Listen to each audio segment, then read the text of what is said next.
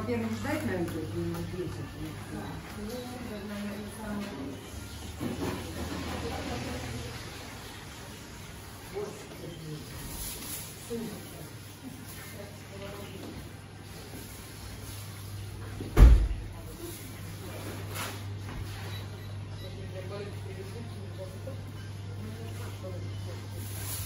Извините, вы меня сдвигнули меня открыть. Я сейчас провожу вас.